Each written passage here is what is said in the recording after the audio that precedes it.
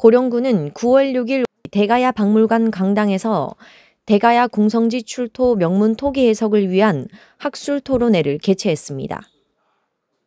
이번 토론회는 대가야읍 연조리에서 진행된 추정 대가야 궁성지 아이원 구역 정밀 발굴 조사 과정에서 발견된 명문 토기편을 해석하기 위해 마련되었습니다.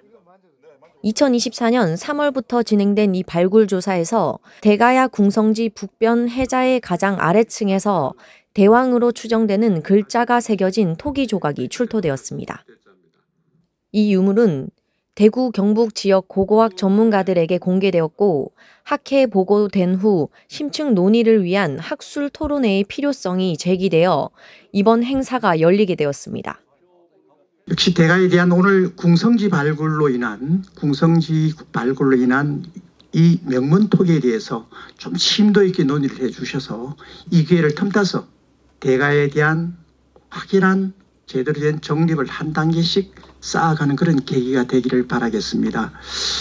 지금 여러 가지 고도 지정에 따른 기본적인 사항들을 하나씩 행정에서는 준비를 하고 있고 또한 그에 따른 여러 가지 사항들을 세부적인 사항들로 지금 현재 완벽하게 준비를 하고 있습니다.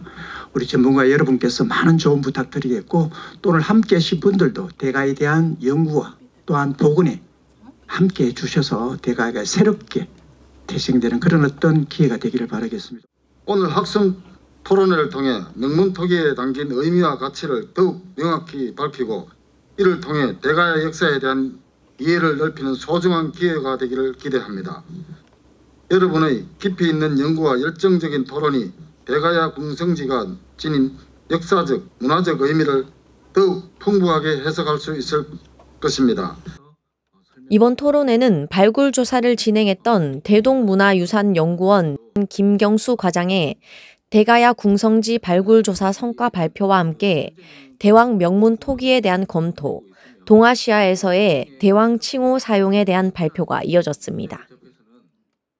이후 고고학 전문가들이 모여 토기 명문에 대한 다각적인 토론을 진행했습니다.